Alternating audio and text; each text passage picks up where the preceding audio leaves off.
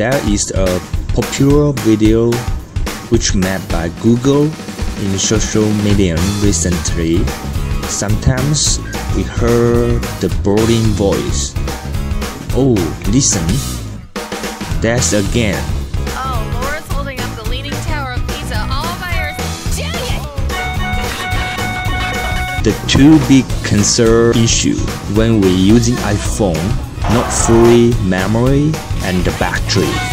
When you choosing Umi Max, you know worry this thing will be happen again.